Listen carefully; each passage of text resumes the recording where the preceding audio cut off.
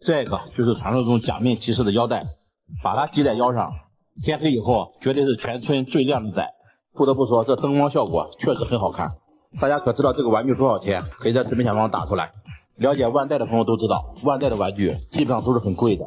奈何我们家小朋友真的是太喜欢了，没办法，必须整一个。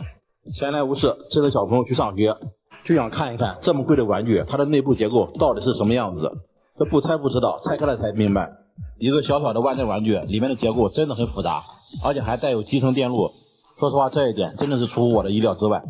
面板下部还配了几个 LED 的灯，这好玩具啊！说实话，这做工确实很精致。理论上讲，这应该是我买过最贵的一个玩具了。听说万代的玩具还是比较出名的，以前我是不了解，也就是从万代的除草机开始的。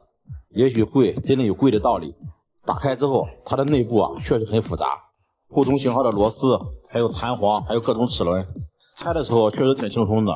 但是装的时候确实也挺费劲的，前前后后试了好多次才安装好。就拿这个玩具来说吧，齿轮控制连杆，连杆再用接触控制开关，从而达到音乐和灯光效果。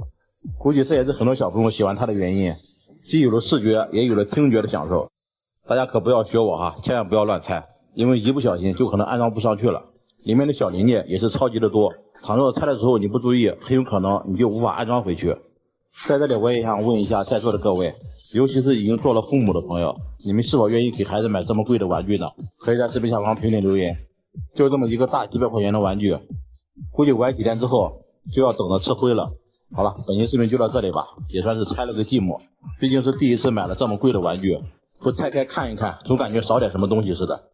好了，喜欢我的视频帮我点个赞吧，谢谢各位，下期我们再见。